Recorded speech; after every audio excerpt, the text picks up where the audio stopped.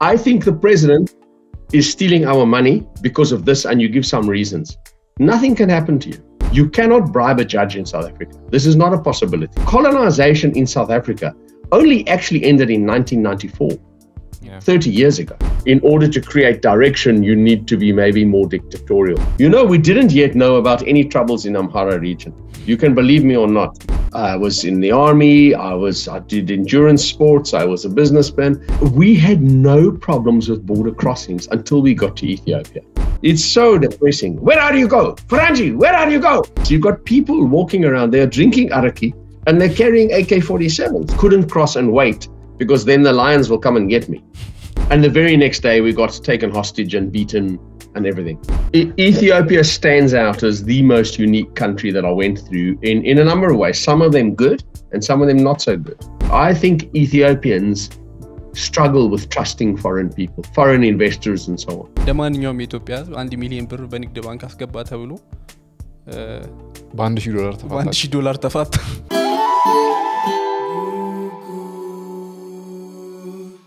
የምር ነበረ እኮ ራሱን ኢንትሮዲስ ማድረግ አይችልም። ከሳውት አፍሪካ ነው የገባው። ኪት ቦይድ ይባላል። ሂ ኮምፕሊትድ ጆርኒ ፍሮም ኬፕ ታውን ቱ ካይሮ ኦን ፉት በእግር በሩጫ ከሳውት አፍሪካ ኬፕ ታውን ኦርጆግ እያደረገ እስከ ካይሮ ድረስ እስከ ኢጅፕት ካይሮ ድረስ በ301 ቀን ወደ 11 ሺህ ምናምን ኪሎ ሜትር አደረጋት። ከዚህ በፊት የተያዘው ሪከርድ 318 ቀን ነበር። በሌላ እንግሊዛዊ ነበረ ዲስ ታይም አንድ ሳውት አፍሪካን ነው ብሬክ ያደረገው። እና እሱን ያቀርበንላችኋል ግን ያቀረብንበት ምክንያት ምንድን ነው በዚህ ጀርኒ ላይ ያለ ያው አፍሪካ በሙሉ ሰላም ነው ታውቃላችሁ። ሁሉንም ቦታ አልፏል በሰላም አልፏል። ኢቨን ሱዳን በቃ ከፍተኛ አፍሪካ ውስጥ ጦርነት አለበት የሚባለውን ሀገር ራሱ እየሮጠ ነው ያለፈው ኢትዮጵያ ግን አልሮጠም አላስሮጣችሁትም እና አላስሮጥ ነው አዎ አላስሮጥ ነው እና እሱን እንዴት እንደነበረ ጀርኒው እንዴት ተመልሶ እንደጨረሰው በጣም ብዙ አራት ጊዜ ነው የሞከረው ኢትዮጵያን አራት ጊዜ ሞክሮ አንደኛው ጊዜ ኪድናፕ ተደረገና ኢትስ አሜዚንግ ጀርኒ እያደረገው እንደ ማንኛውም የኢትዮጵያ ሕዝብ አንድ ሚሊዮን ብር በንግድ ባንክ አስገባ ተብሎ በአንድ ሺህ ዶላር ተፋታ። አዎ። አዎ። ይሄን ለማለት ነው በጣም የሚገርም ኤፒሶድ ነው። ዩጋይ ሽድ ዋችት ከተቻለ በአማርኛ ደብ እናስደርገዋለን።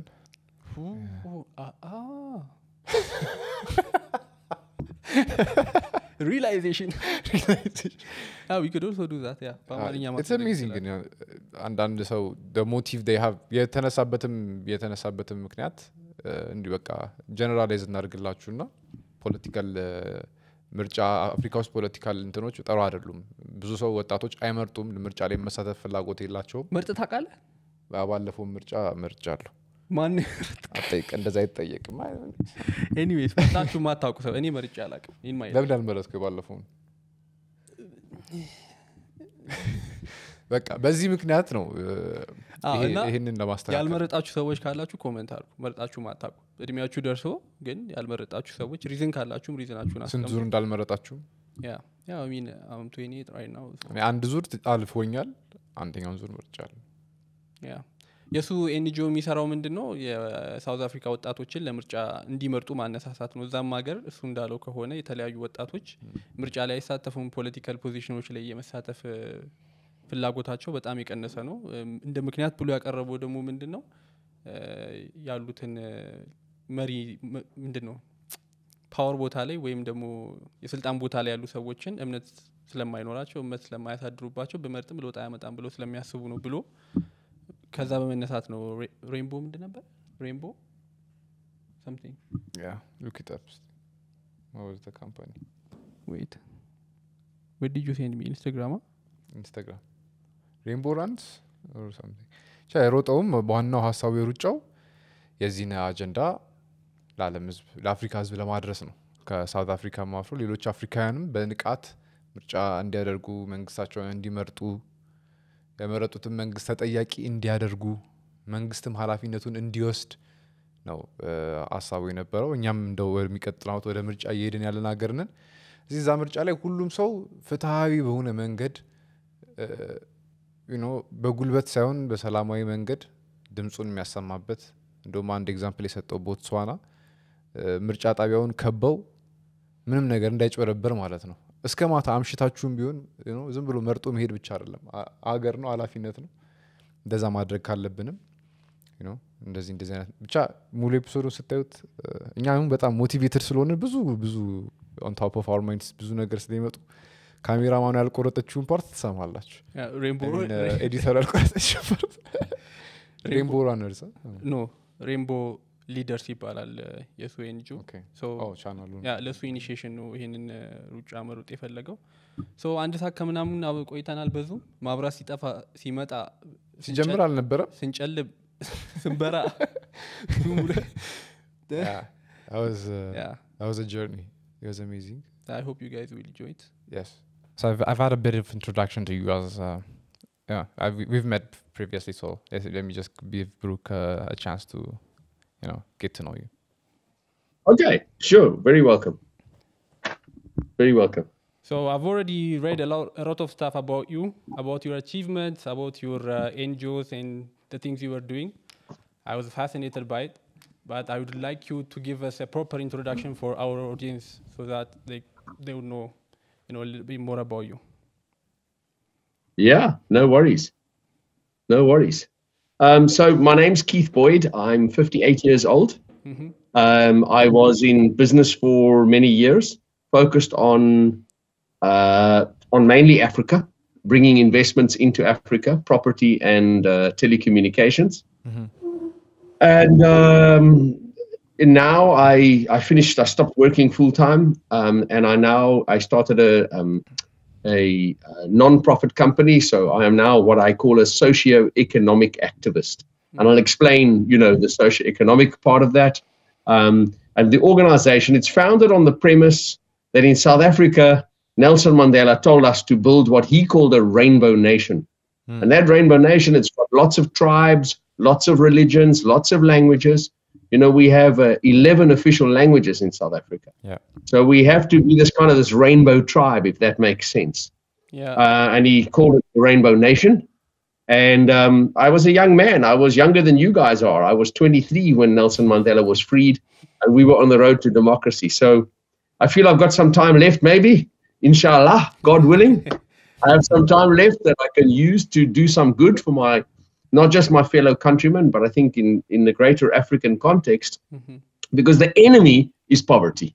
Yeah. That is the biggest enemy we face on our continent today. And so I wanted to find a meaningful way of trying to diminish uh, poverty. All right. That's that's nice to know. That's a great inspiration. And my next question would be what inspired you to, you know, at this age, I'm not saying you're not capable, but you- you- compared to a lot of young people, you're kind of old. So, uh, what made you inspired to start this journey? Yeah, I mean, so I started Rainbow Leaders with the view that what we were going to do was we were going to really work hard to get young people to go and vote. That is the aim of rainbowleaders.org.za, the South African non governmental organization, the non profit company. Its role is to get young people to vote. And why do we think that's important? Because if you have good leaders, I promise you, I promise you, if you have good leaders like Nelson Mandela, Mahatma Gandhi, there have been a number of really wonderful leaders in the world. Everybody in the country just wants to behave in a better way. Hmm. Where you saw differences, you see similarities. Where you saw problems, you start to see solutions. Where you were thinking, maybe I'm not going to do the right thing, you realize, no, I must do the right thing because the leaders are doing the right thing. Yeah. And that's where it starts. It starts with young people electing really good leaders. And um, right now, they're not doing that. They're not even voting. They are they are they are so annoyed with politicians and politics. They they they don't trust any of them.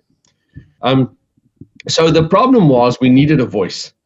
And if you want a voice, you need to go and hire somebody famous, or you need to do something worthy, something that is newsworthy. Yeah. And so this was it. You know, is we had to do something, you know, ride to the moon on a bicycle or do something crazy You know, you know, climb Everest in our flip flops, you know, in our in our sandals, you know, backwards or something. Yeah. But I thought the, the, the greatest thing that I could do would be the most difficult challenge I could find in Africa was to go from Cape Town to Cairo, hmm. the traditional route, the length of the whole length of the continent hmm. in the fastest time and break the existing world record, which had stood since 1998. Uh, How long was that? So, you know, giving us a voice, and it's like we are speaking because of this, right? yeah, Yeah. I mean, you guys are hosting me on your wonderful show, your wonderful podcast because of that, you know? Yeah. that is true. How, how long was the previous uh, record? It was 318 days. Oh, I see. It was set by an English an English guy called Nicholas Bourne, when was that? 318. In 19? 1998. 1998. 1998. I was one years old by then. yeah. There you go. There you go. So How was the preparation like? Uh, Be- be- actually, before we move to the preparation, I want you to say a little bit more about the voting because Hmm. uh, I myself don't like to get involved in politics and things like that. And I've never voted in my life here in Ethiopia. And it's kind of fascinating. The young people in Africa have similar paths and similar lifestyles. So I want you to say more about it. true. awesome. Yeah, very no. That's a really good point. That the problems we have in Africa are very similar. Yes, we speak different languages. We have different religions, different branches of religions, different customs, different traditions, but we face a lot of the similar problems. Mm-hmm. And what what happens is it's about trust. And what I say to young people is, I say, if you knew a, a, a, a bandit, a bad person who lived in your village, and he said to you, Look, uh, will you lend me a thousand birr, and tomorrow I will give you two thousand birr? You would think very carefully if you're going to do that because you realize there's a big risk here. But if your friend came to you and said, Look, can you please lend me a thousand birr, and I will give you back 1,100 birr in a week's time? You will lend, if you had the money, you would lend it to your friend, right? Because you Yeah. trust your friend. It's your friend, right? But you wouldn't lend the money to the guy you don't trust, even though he promised you something much greater True. than 1,100 birr. He said, I'll give you 2,000 birr, and I'll give it to you tomorrow. Mm.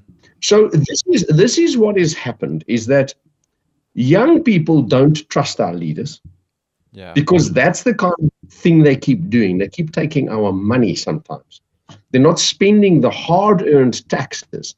And you know, if you put fuel in your Bajaji, there's tax in that. Yeah. You know, there's tax in fuel.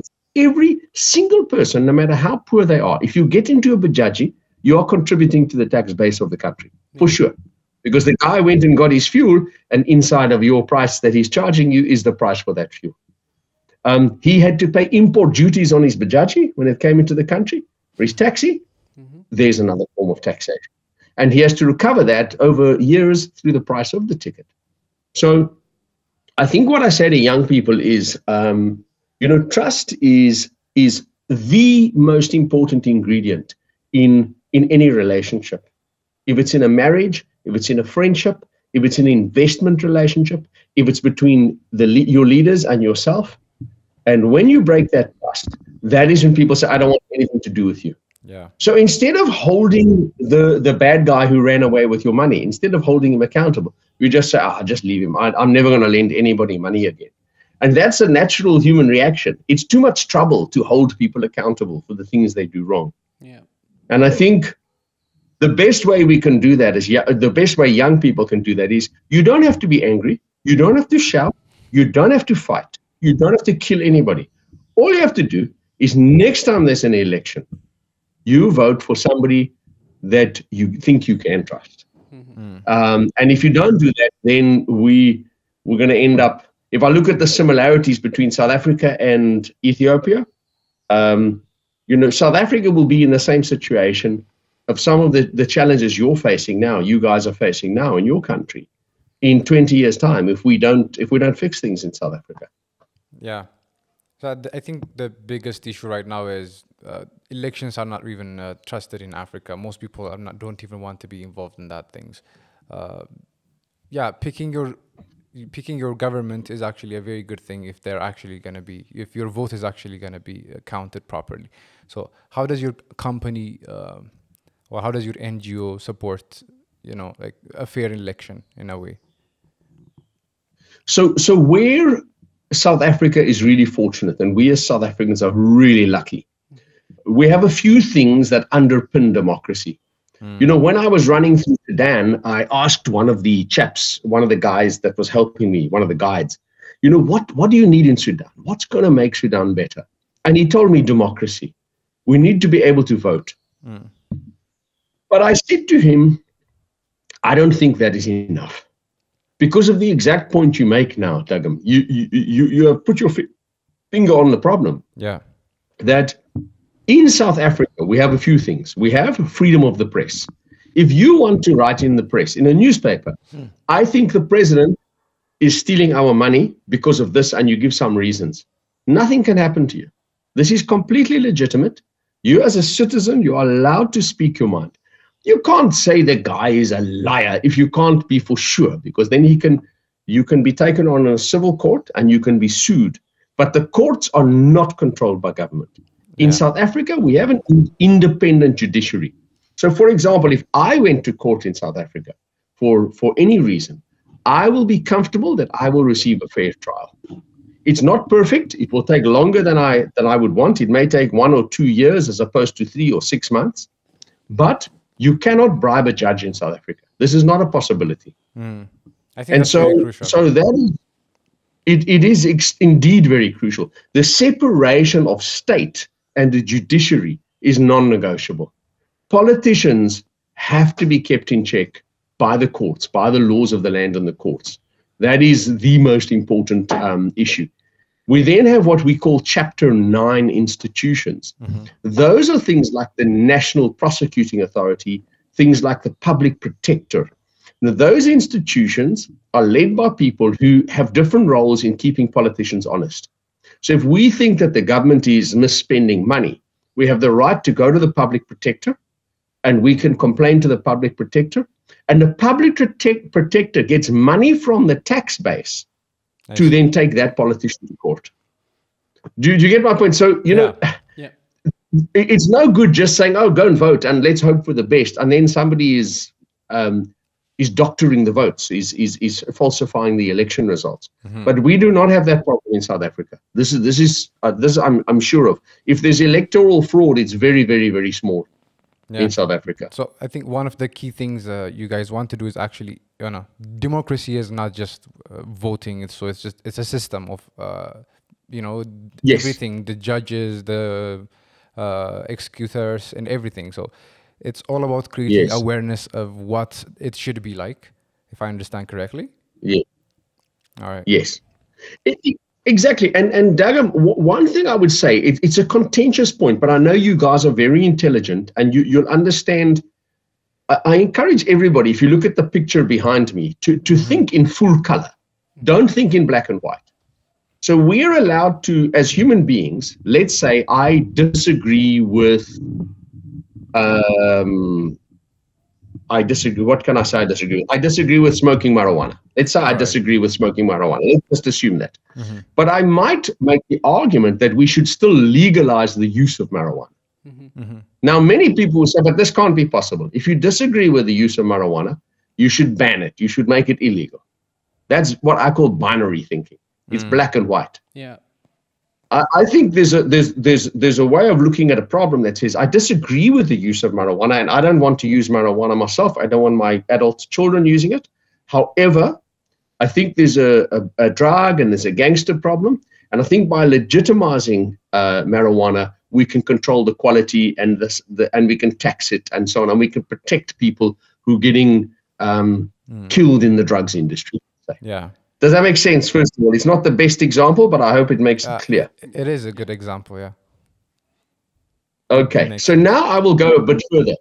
So when colonizers came to South Africa, if you think about South Africa, it is the most brutally colonized of all countries in Africa. Mhm. You could argue that point, I understand. But remember, colonization in South Africa only actually ended in 1994, Yeah. 30 years ago.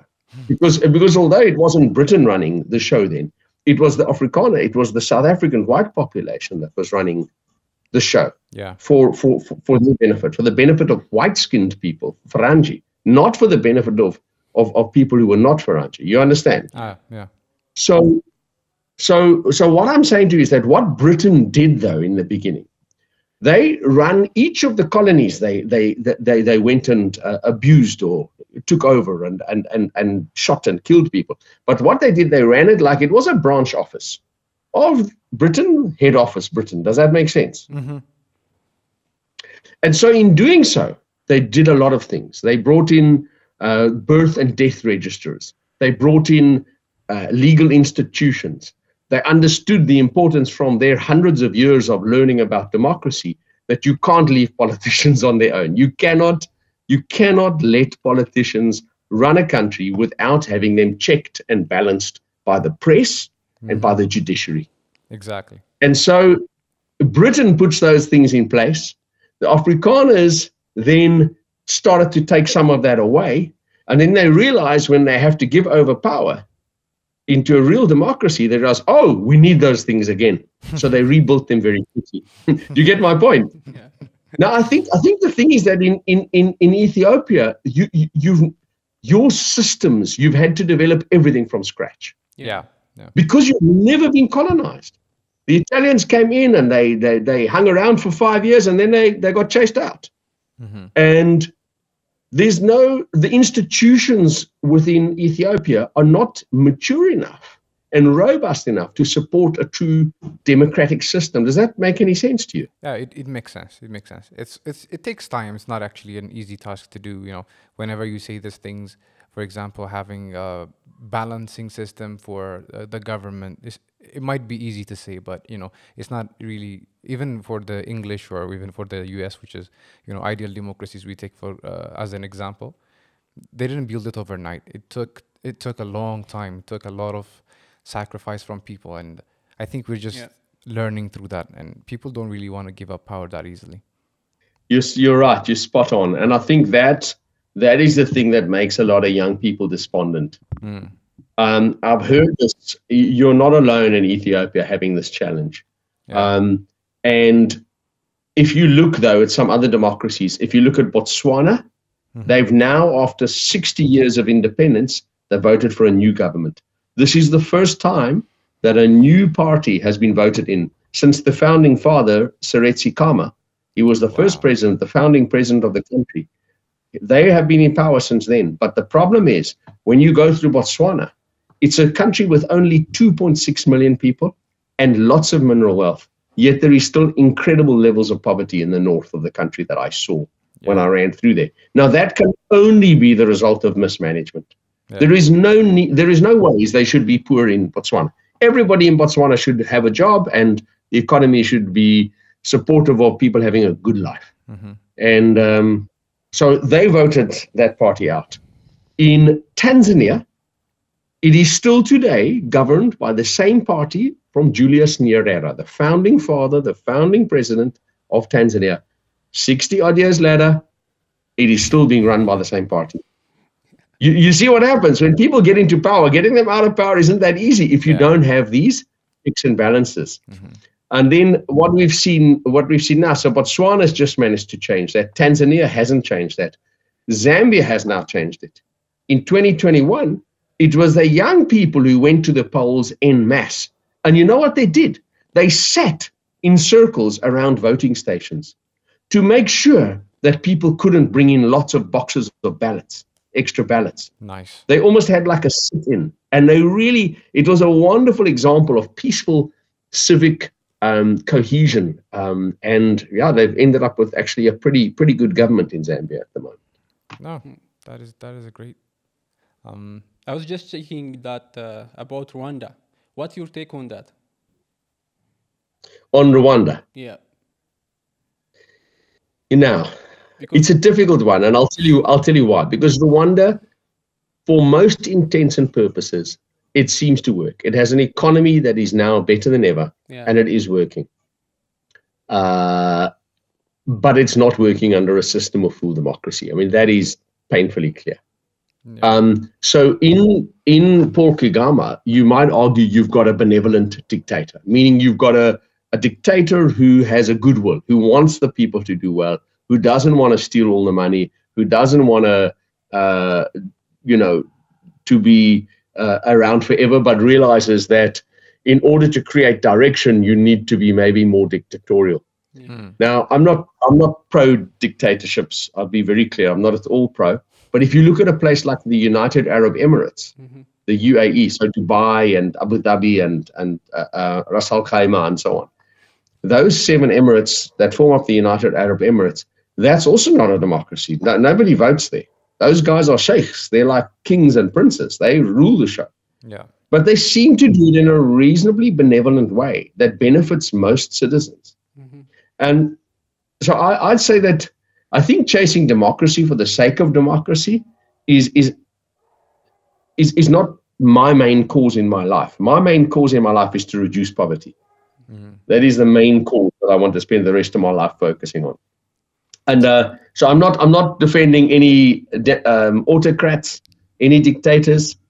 I'm just saying to you that people can benefit if you have a really honest, good leader. You can you can all move forward together as a, as a nation. Yeah. yeah. You know. I just want to have your two cents because a lot of people have different opinion about it, and I just want you to say your your piece. But moving on, uh, when you realize that you're gonna do this long journey, what was the preparation looks like, and how did you prepare for uh, the journey? So so I I was gonna prepare over six months originally. Okay. Um, and I had to build up my mileage quite slowly. My plan was to build up to running 200 kilometers per week. Common wisdom, a lot of people said don't train for more than 100 kilometers a week. But if you think that I was aiming to do 350 kilometers a week, I- it wouldn't have made sense to just do 100 a week until I started. Yeah. So I'm glad I didn't. I had to, I felt I had to, in my last month of full training, I had to do 200 kilometers per week. Um, and I was, I scaled that up over six months, that mileage. The thinking that I know you, you come from a nation of some of the world's best runners. Um, and I think that, you know, it's common wisdom. You should never increase your, your, your mileage by more than 10% per week. So I had a glide slope getting me up to 200 kilometers per week. Then two things happened. One, um, we realized we were not going to start in Cairo. We were going to start in Cape Town because, from a medical point of view and a logistics point of view, it would be much easier to start in Cape Town. And then I would really be able to try out the vehicle, support vehicle. I would be able to see if everything worked and if we needed to change everything, anything, before we left South Africa. As opposed to coming the other way, if we had some problems with the vehicle or so on, we would have been stuck in Sudan in a war. That's So actually we thought, right, we must, yeah, we must start here. You know, we didn't yet know about any troubles in Amhara region. You can believe me or not. Hmm. But I mean, last year, March, April, when we were planning, we didn't know. And remember, the state of emergency was only declared on 4th August last Yeah. year, Yeah. the first state of emergency. So, um, so we decided we're going to start from Cape Town. Now the problem comes that we have to start at the end of July. We can't start in late September. Because if we start in late September from Cape Town, we will get into the Sahara in the worst heat of the year in the Sahara. So now we have to start two months early. So now I don't have six months, I've got four months. then the second thing that happened to train, the second thing that happened was I got a, um, a heart uh, procedure. I have a cardiac problem with my heart. It's genetic, it's inherited. So they had to do a small operation on me, but it meant I couldn't run for more than two weeks at all. Uh, and that was only two and a half months before I left, uh, about three months before we started. So really, my training was not ideal. And when I got to the start line in Cape Town, I had a right knee injury and a left ankle difficulty.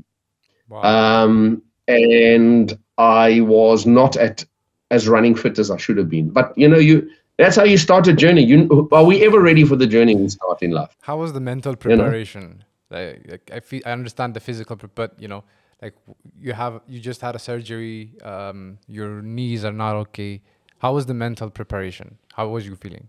Yeah, I was fine. I mean, I think I think um, being 57 at the time, I've had the chance to live a full life.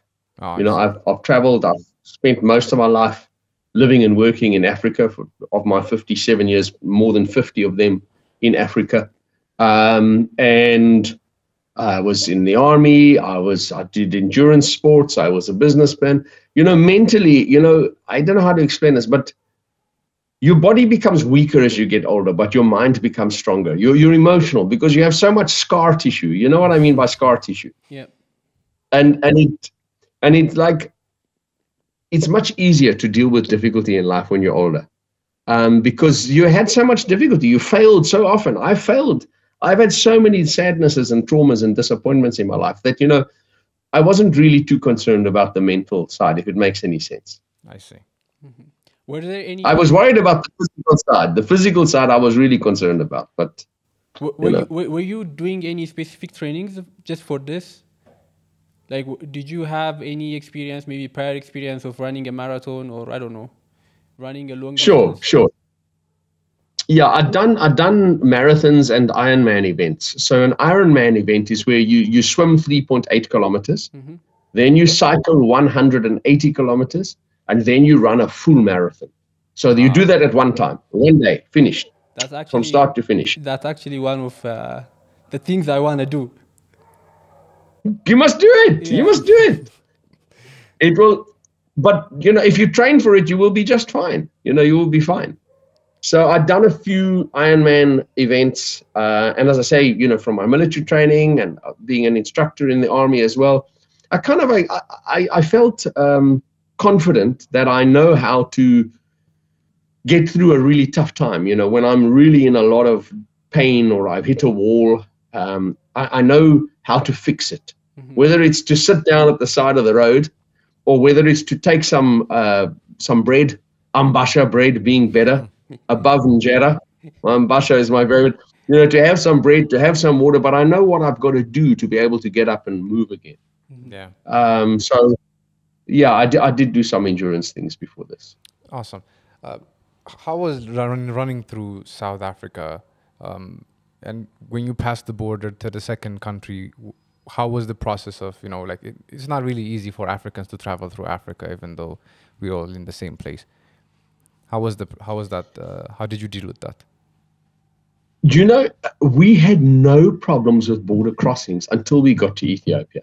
I promise you, uh, from South Africa, we had we had two vehicles. In fact, we didn't even take the other vehicle into Ethiopia. It was just too complicated. We sent another vehicle back from Nanyuki, which is kind of in the middle of, of Kenya. Um, but th- we didn't have any problems. You drive the vehicle to the border. The the border people will, if they want to, they will search the vehicle. You know, they're looking for I don't know drugs, bombs, I don't know. But you know, they're experienced. They're kind of working out. Does this guy look like he's on holiday? What's he doing? And you have like a. It's called a. You may have heard of it. It's called a carnet de passage. Many people call it a carnet, and it's like a passport for a vehicle. Each vehicle must have one of these.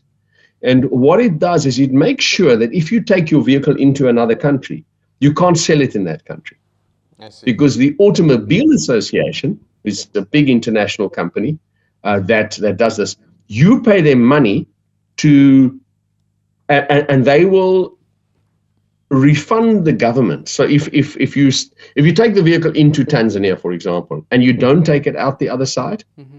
within X number of days, 30 days or 60 or 90 days, then they send an invoice to the Automobile Association. They say, okay, one of your vehicles came in under one of your passports, the Carnet de Passage, mm-hmm.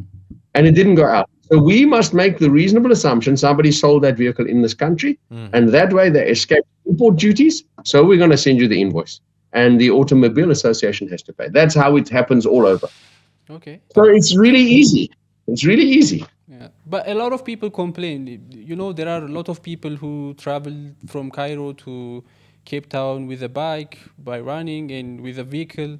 But we all hear this problem. I don't know what's wrong with our people and our government, but a lot of time when they get here, they complain a lot about this. So there's there's there's, there's a couple of problems I think in Ethiopia. The, the, the first, let's start at the beginning. To import a vehicle into Ethiopia, it's 200% duty. You, you know that, right? Yeah. Yeah. So if a, a vehicle is bought for two thousand dollars, in Ethiopia it costs six thousand dollars. Yeah. You, you you know where I'm going.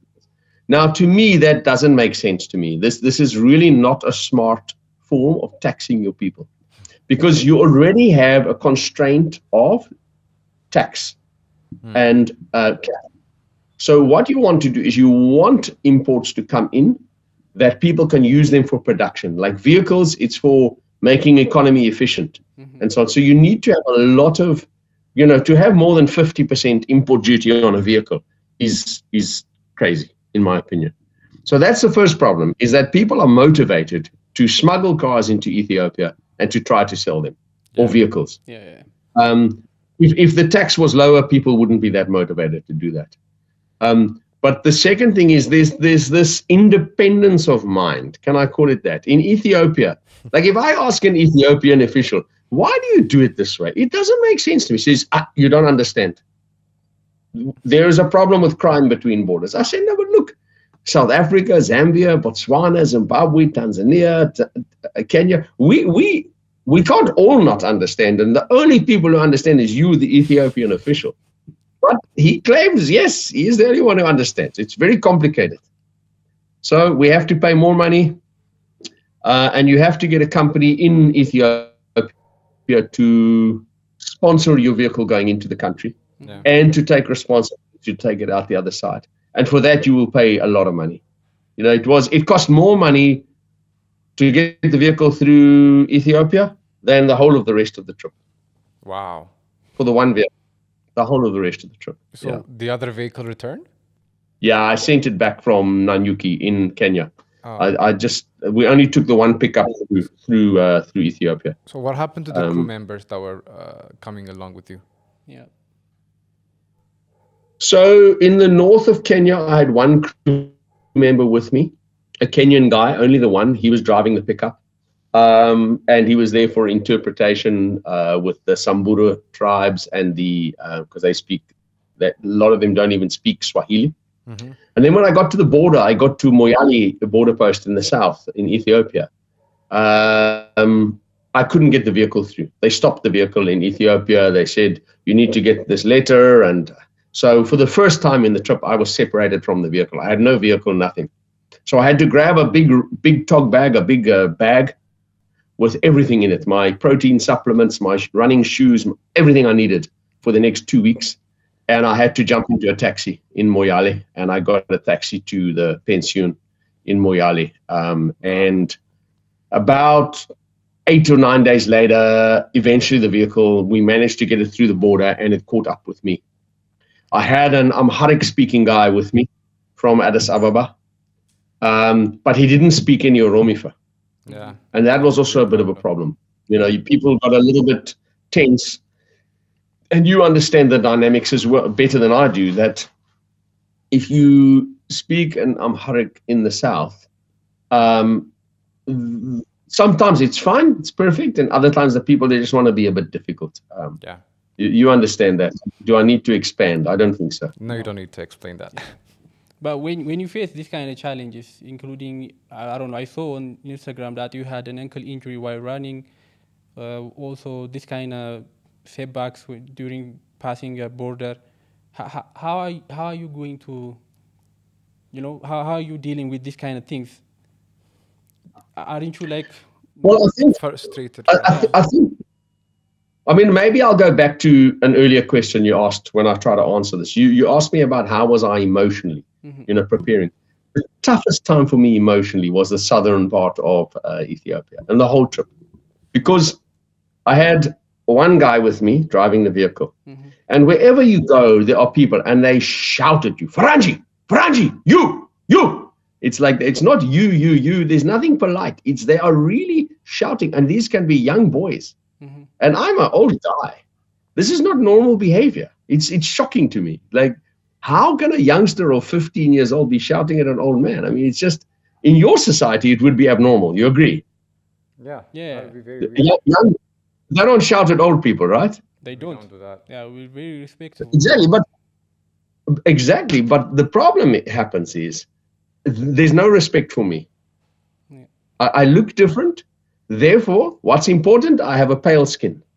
I'm Faranji, and then they don't even care about my age. There's no respect, and that just getting in your face all the time. I've got to tell you, mentally, you know, it sounds ridiculous when we're sitting here that I complain about such a thing, but when you're running and you're in real pain all day, and you're exhausted, and you have these youngsters just getting in your face, and these young men shouting at you, shouting at you, and they don't stop. You stop to eat, and they're right there, and they Yeah. they they just at you.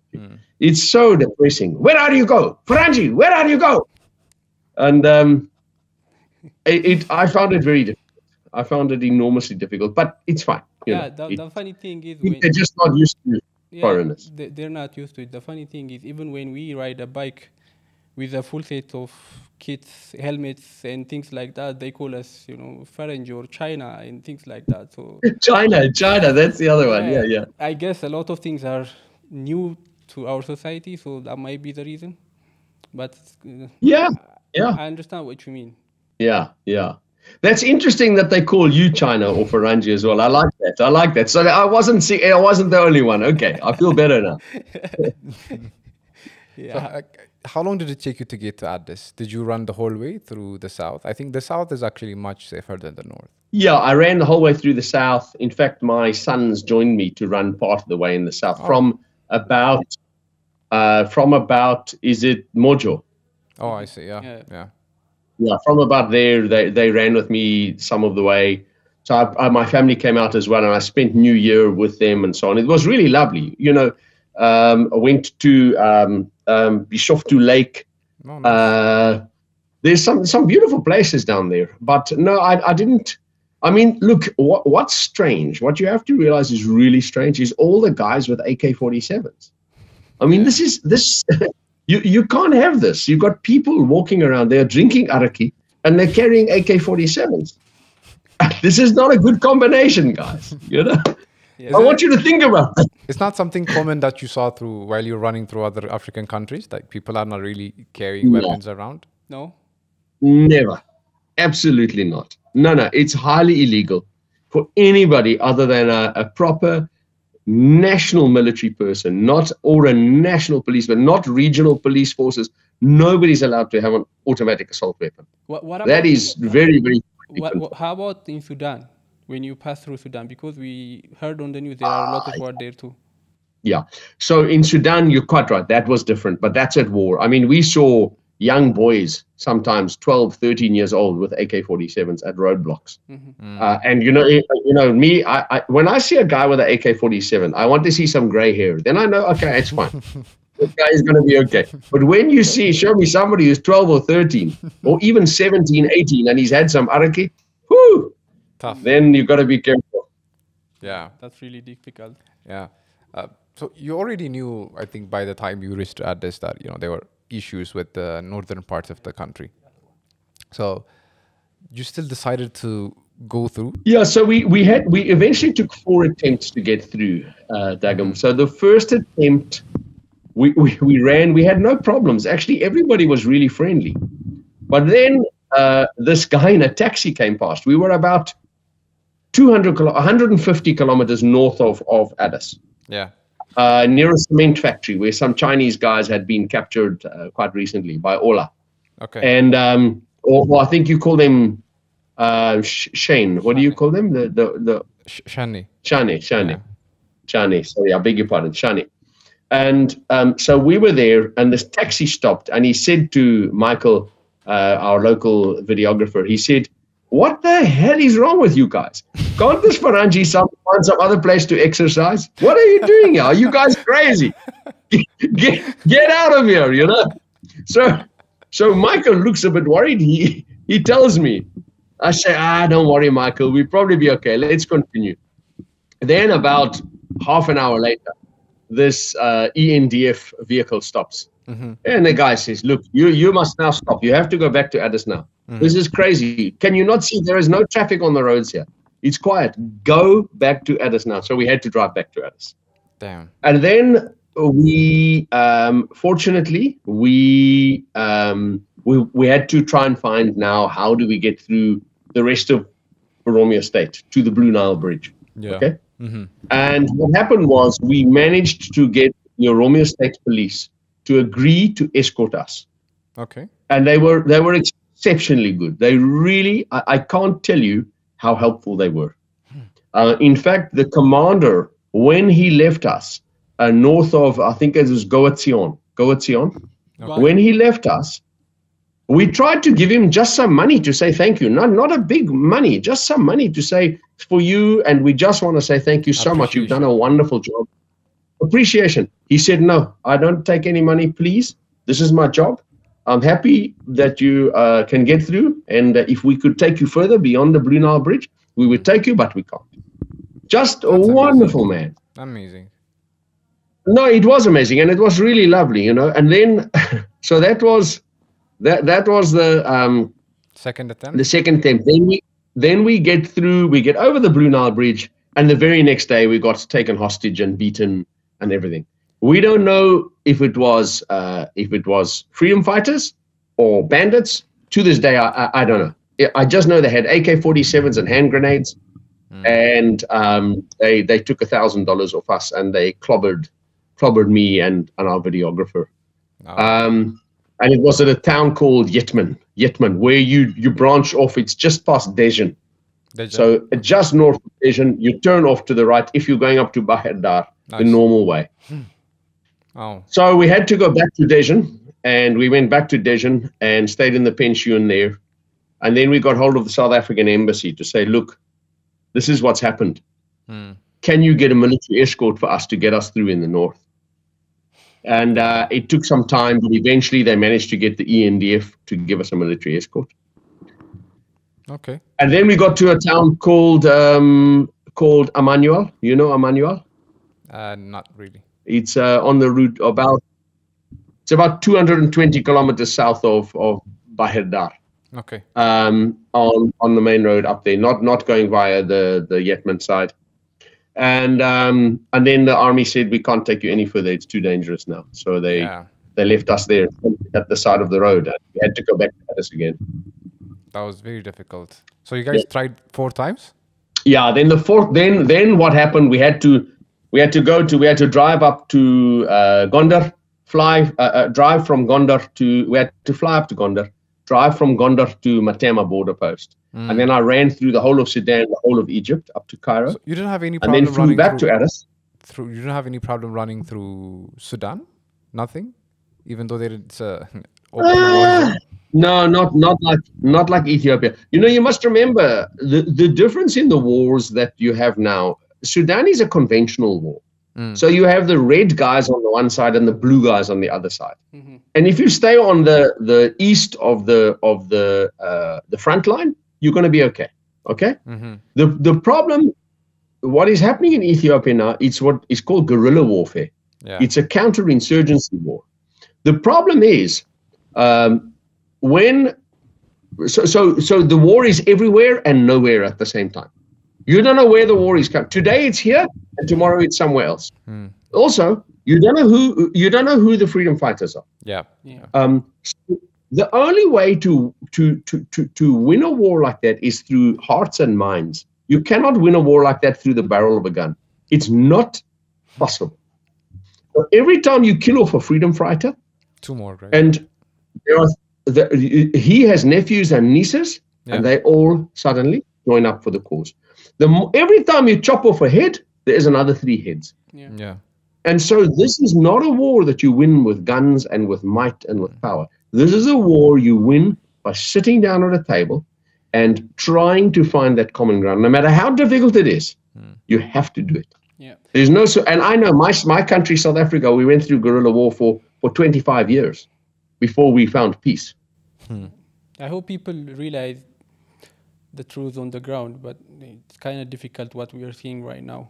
But to take you back to the kidnapping situation, what was your communication looks like? How did you communicate? Uh, The, uh, of course, there is a language barrier between you and the guys who kidnapped you. So, who were there with you? How did they, you know, how how did you manage to, you know, to just cut them through with a, thousand dollar? Because here we hear a lot of stories. Uh, even local people get kidnapped and asked a million birr and things like that.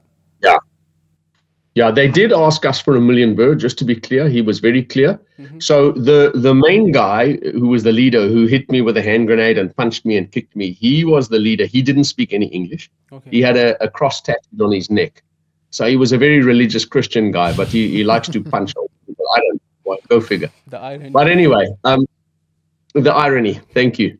Um, but but and then the second in charge was a guy who had a scar on his eye, um, but he's he spoke a little bit of English, just a little bit. And then I had Michael, my videographer, um, who was with me. So he was doing a lot of the translating. Okay. Um, they wanted two things from me. They wanted me to phone to get the pickup to come back to the town. I had uh, Shadley, my op medic, he's another South African guy. Uh, he looks like an Egyptian guy. You know, he, he's a Muslim, but he looks like an Egyptian kind of looking guy. He'd gone further ahead in the pickup. And they wanted me to phone him to tell him he must come back. I didn't say to them, I will not phone because then they may shoot Michael, Yeah. for all I know. They, they, just to show me they are serious. Don't play games with us. So I didn't refuse, but I, I knew that I was not going to phone uh, Shadley as long as I did not have to phone him. I so I said to them, look, I will phone him, but help me understand what is your problem. How can I help you? I, I'm happy to help you, but you must, you must make me understand what is your problem. What do you want? And uh, the second thing they wanted us to do was to go to the forest, to go into the bushes. Now, I know if you go 500 meters from the road, you will never be found. Yeah. Yeah. You're done. You, you're kidnapped, you're finished, you're done for. yeah. And so I, I said to Michael in English very quickly, I said, Michael, we have to slow everything down. This is a full blown kidnapping. Yeah. We're going to disappear now. And the next thing, my wife is going to get a phone call, and, uh, you know, maybe she won't be willing to pay any money to get me out. So I will be stuck there. maybe after, after 30 years of marriage, she had enough, you know. I didn't want to find out.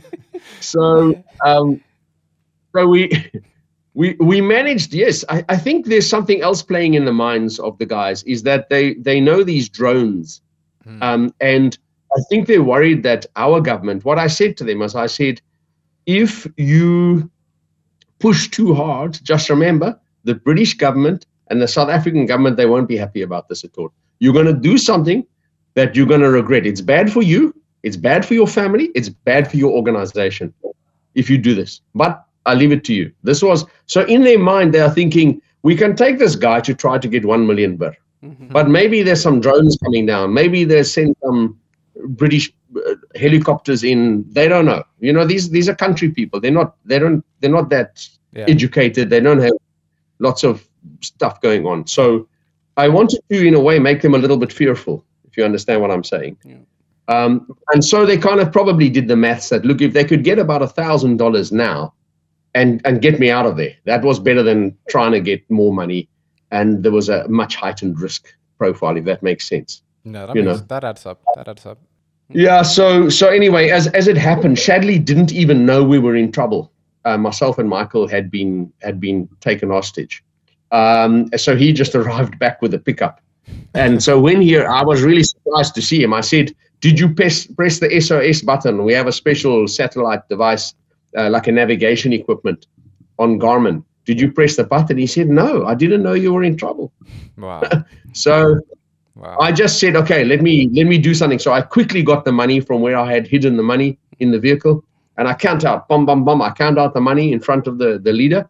I put my hand out to shake his hand, and he he gave me a shoulder bump. You know, like we are old friends. That's amazing. I think you handled it well. Yeah, it's- it's- Maybe yeah, having previous uh, military experience did that somehow help you, uh, you know, like keep your calm. Yeah, I'm sure. I'm sure, and I think also I felt, you know, when you're in a situation, Michael is is half my age. hmm I felt responsible. He's younger than my oldest son. He's the same age as my oldest son. So Yeah. you know, you feel almost like a fatherly responsibility. So I knew that I just had to try to maintain a level of, um, because because the problem happens when you are taken hostage. They have all the power, you have no power, Exactly. and you have to close this power distance gap. It's called. You have to try to narrow it, hmm. because you can't form a relationship when you have a this gap Yeah. you have like a king and you have a slave over here you know Yeah. and the way you do that is you ask questions first then you start to make requests and then you start to make demands. And so the first thing i started with was the questions. What do you want? How can i help you? They said they want weapons they want money for food and weapons and da da da and you know all of that stuff. So look we we, we got lucky. I, I tell you when we got away um, I, I said to Michael and Shadley, we really got lucky today, you know. That's very true. Yeah, that's interesting. But when you try to, you know, plan out your paths and routes, did you have any any sort of you know challenges? Maybe missing turns, maybe missing navigations, and you know you have to go back and do it again. Did you had any sort of this kind of issues? Um, in in terms of taking a wrong turn, in terms of na- navigating to the wrong place, Yeah, yeah. um, no, we had so we had Google Maps where we had internet, Mhm.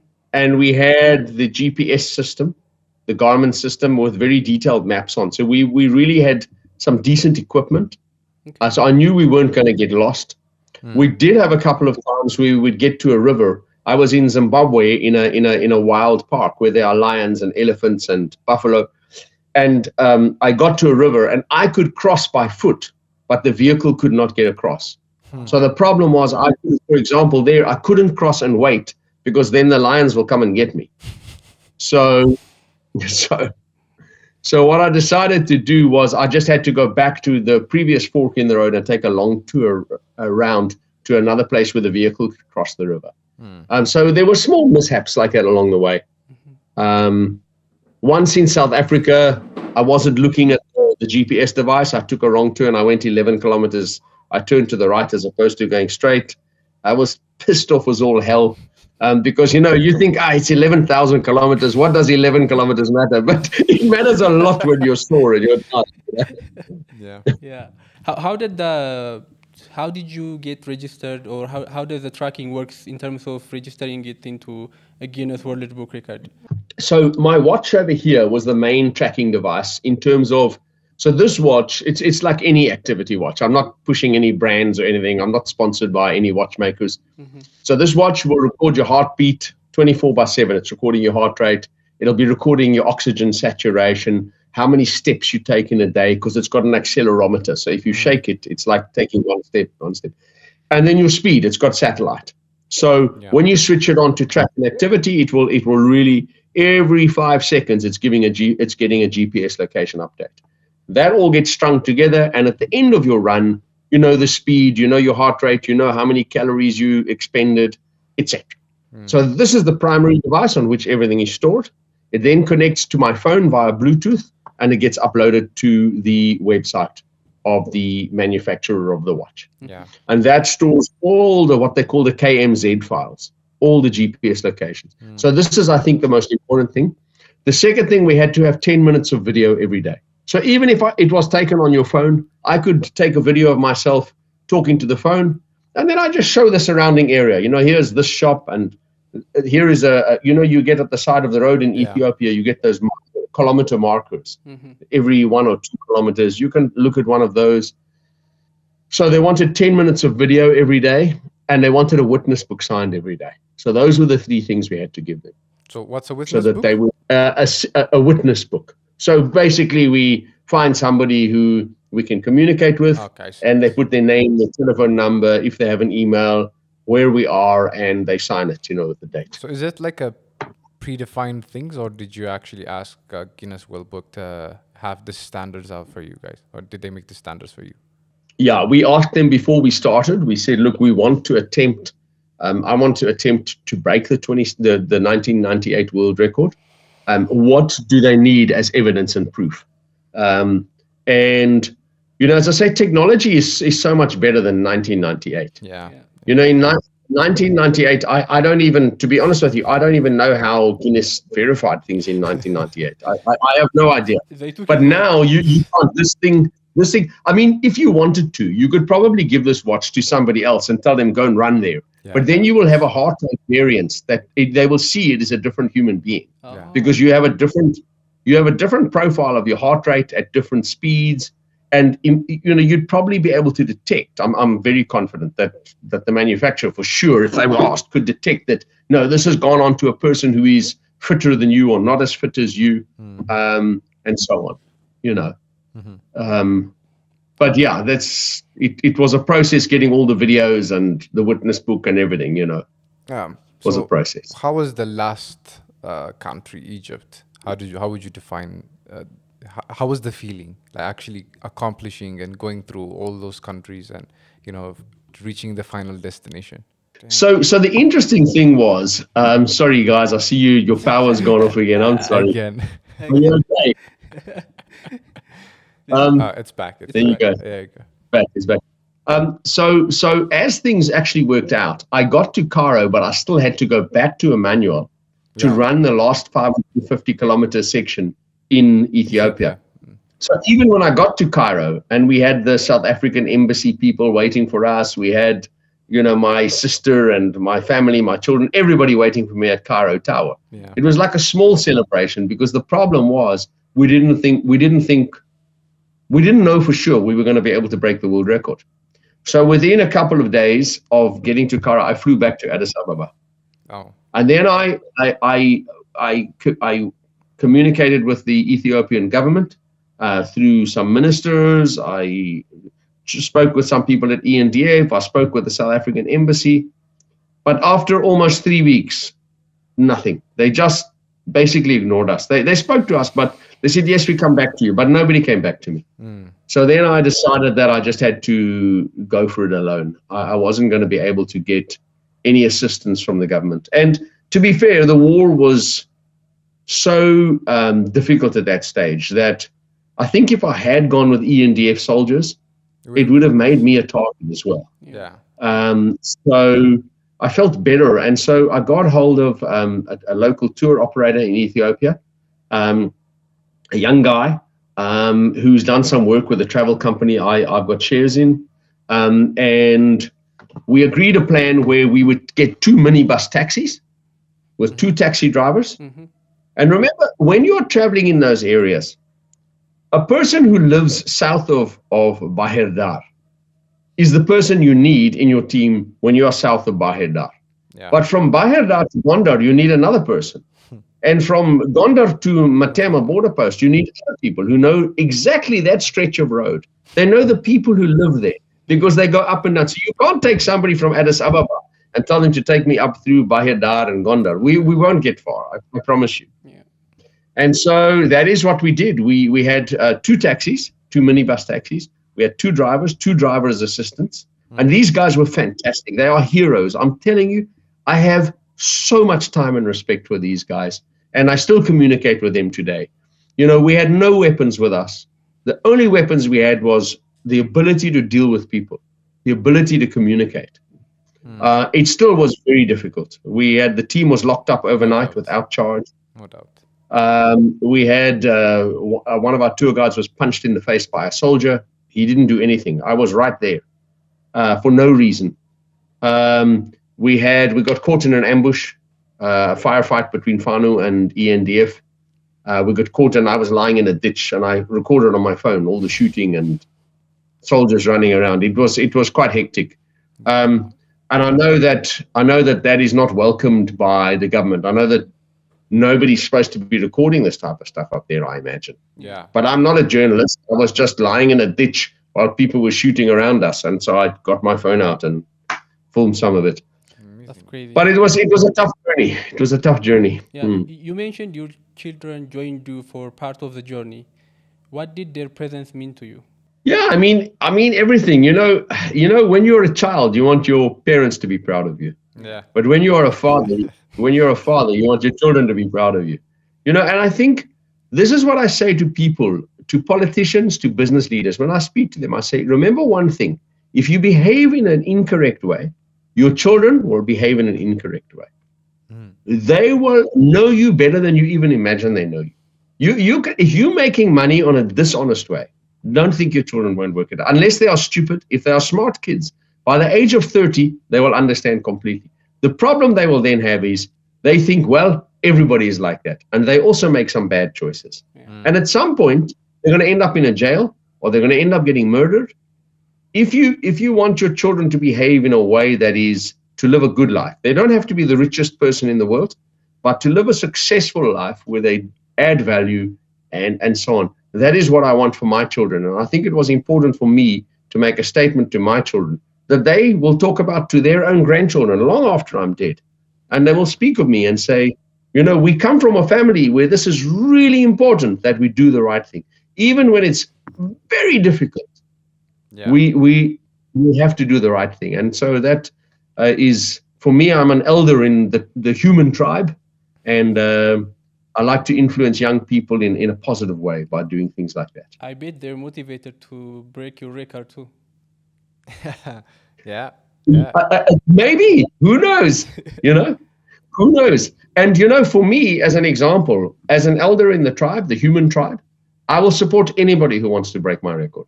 Anybody, for sure. I, I will give advice for free because I, I, the record doesn't belong with an old man like me. The record, the world record, belongs with a younger person, or maybe 35 to 40 years old, Mhm. who's um, you know who's going to do a much better job than I did. And that time will come. I hope I can support somebody to break that record. Wh- What was the? I read somewhere that you were consuming a lot of food, a lot of calories, and what was your, uh, Mm. you know, your menu for the journey looks like? Well, in in in, in Ethiopia, I mean, I, I like injera, and it's actually great for my gut. Ambasha is my best. I'm telling you. If I saw Ambasha, I was there. Ambasha and Buna, I'm happy. I'm sorted. For, to get started for the day, I'm a happy guy. You know, I just need coffee and and good bread, and um, beef tibs as well. A lot of protein. You have to try and get some meat, some protein Yeah. uh, a lot of beans and lentils. Um, so food was not. I didn't get sick once. I never. Got, I, I, only in Sudan for five days. I got really, really sick. But that was the water. I drank water I shouldn't have drunk, and it's a, it's a long. I made a mistake. Hmm. I, I thought it was bottled water, but it wasn't. And I drank a whole lot, and then I was really, really sick the next day for five days. Yeah. Yeah. So, like, as a country, Ethiopia, like, what I understand from your story is it's at the end of the day, it's all about communication. It's all about the way you handle, you treat each other. So, as a country, we we like to, um, what's the right word? We we pretend like we are, you know, like we like guests. We are very welcoming people, and we're very. Uh, like we, we're very commun- communal uh, society, but you know it, that did, that didn't really reflect into your story, and that also reflects in the types of businesses that are actually expanding in the country. Uh, In the countryside, how, how many businesses did you actually see running around, or like all the lands that we have, all the resources that we have? So while you're traveling through the rest of Africa, you've probably seen many many uh, investments and uh, factories being built, but how was the uh, how was that in Ethiopia? Did you have the same experience here when it comes to the you know uh, in- industries and Yeah, I mean, I mean, Ethiopia stands out as the most unique country that I went through in, in a number of ways. Some of them good, and some of them not so good. Mhm. Um, the one thing that is striking is there are no big investments in terms of retail and so on. So you, you know, if you're in a place like South Africa or Botswana or any country, pick any country, you will have these international chain stores that are selling food and uh, vegetables and canned food and clothes and everything. These general stores. Like uh, South Africa has Pick n Pay, Britain has Tesco, America has Walmart, France has Carrefour. You know, there, there's hundreds of these. There's not a single one invested in Ethiopia. Now, the reason is, and I know because remember, I'm not a runner, I'm a business investor, I'm an entrepreneur originally. And I never invested in Ethiopia. And, and my job was to bring money in to invest in Africa. And one of the countries that I chose not to invest in was Ethiopia. Now, it, it was a difficult decision to make because there's more than 100 million people in Ethiopia. Second So that is- populous. Okay, sorry. So, so I think that um, uh, let me go back a little bit. You know, my job was to bring investment into Africa, yeah and one of the countries that really looks great to invest in when you look at the population size is Ethiopia. More than 100 million people, you want to invest. It's like it. So, one of the countries we invested 1.3 billion dollars in, 1.3 billion US dollars, was in Nigeria hmm and I was leading that investment to that country. Um, the reason investors don't invest as much in Ethiopia is because of all the red tape. There's a, there's, there seems to me, if, if I might say, and I want to say this in a constructive way, because I want to see a stronger Ethiopia with happier, more successful Ethiopians. This is what I want to see. Um, and so if I say something that sounds as if that I'm not trying to get to that point, um, forgive me, you, I've explained myself badly. But I would say there is, it appears to me, um, a problem in Ethiopia that Ethiopians want to do things the Ethiopian way. And it really is quite marked.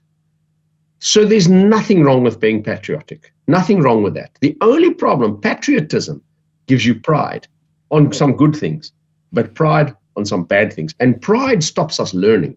Pride is the thing that closes our minds when we think our way is the best way. Immediately we have stopped learning. Yeah. Yeah. And I think in Ethiopia, there's there's something in the national psyche that I think Ethiopians need to question about should you be more trusting of foreigners? And I think I think it's a trust issue. I think Ethiopians struggle with trusting foreign people, foreign investors, and so on. Very much. Um, you know, and they almost feel as if if a foreign investor comes to Ethiopia, they must want to take advantage of us. And I can tell you that, of course, when people invest, they want to see their investment grow in value. Yeah. But um, it's not done, it should be done in a way that is what I call symbiotic, and it's easy to do. Um, but the first thing is, you know, you need to break down those barriers of distrust. You know that distrust that I spoke about now of foreign people? There is also intertribal distrust. If you look at the Oromo people, if you look at the Amharan people, you look at the Tigrayan people, you look at the other groupings, there is distrust there. yeah.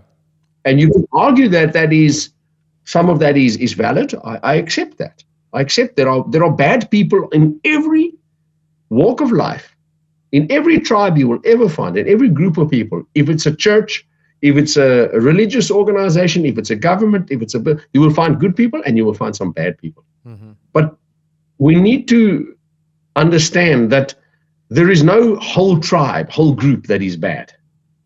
And uh, yeah, I, I'm I'm sad for Ethiopia. I'm I'm.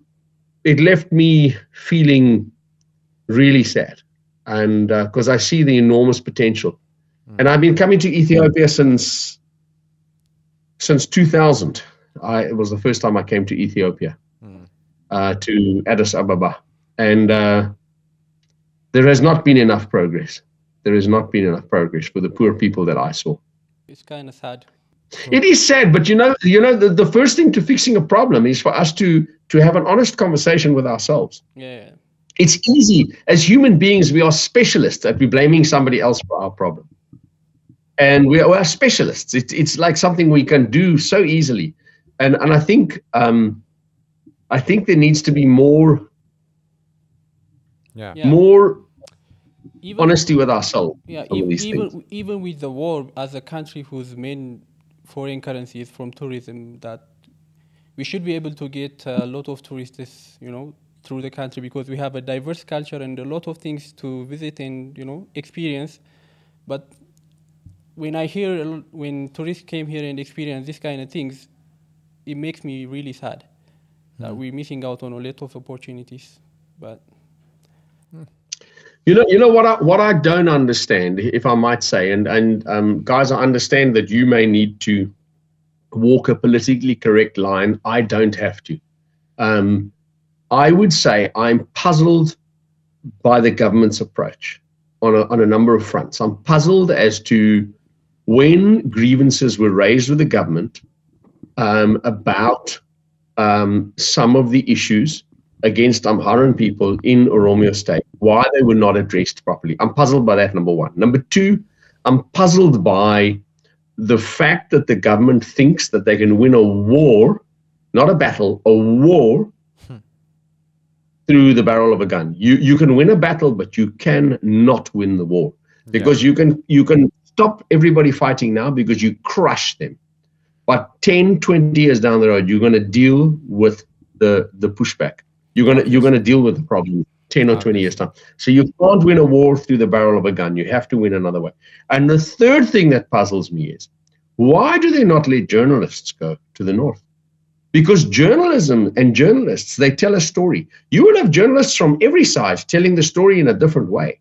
But let people decide what version of the story they want to view, they want to see. And I, I don't know. I think it's completely wrong.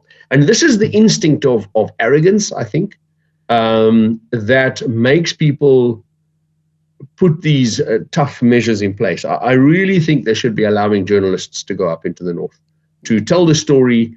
Um, if they've got nothing to hide, why wouldn't they do that? You've said things that we couldn't. Thank you. The reality is that we just we just came out from another war from the Tigrayan people, Yeah. and we just you know Stepped into another one. another one. I don't know why they decided to do It's- that, but you know, So anyway. it's it's tragic. It it really is tragic, and I I'm so looking forward to getting back to Ethiopia in in better times. Yeah. Um, and I really want to come and see Ethiopia at its best. You know, I didn't see Ethiopia at its best this time. Um, and I, I can tell you, the guys that have traveled with me, I will go back to Ethiopia. I will visit each one of them, um, and um, they are still so positive. You know, they are such. Um, uh, they, they obviously are worried and concerned, and a lot of them work in the tourism industry. They're directly impacted by the lack of tourism yeah. and um, but I, I will be back, and hopefully it will be better days. Yeah. Hopefully, yeah. I hope when you come back, it will be a better time and we'll have the same conversation, but you know, in a it will- different angle. Yes, yes, I'd love to. yeah. Do you have any more questions? No, I don't. Do you have any more things that you actually want to add? Uh, thank you for your time. Yeah, I just want to say that I, that to all Ethiopians, you know, the the issue is um, we can focus on differences, and we can focus on the past. Yeah. But um, focusing on the past is about as sensible as trying to drive a car down the road by looking in the rearview mirror. You can't make progress, and you're going to crash. You need to really forget about the rearview mirrors and look out the front windscreen, and that's the only way you can make fast and rapid progress. Hmm. So just you know, take a leap of faith, trust the people that you saw as adversaries, and be brave. Finding peace takes a lot more guts, backbone, and determination than fighting another battle. It does. It does. It does. All right. All right. Thank you very much. Thank you for your time. We had an- a wonderful conversation, and uh, I guess we hope to see you again. Yeah. Fantastic. Amasakanalu, Galatoma. Thank you. I appreciate it. Hey, Thank ciao, ciao. Ciao. Bye, guys.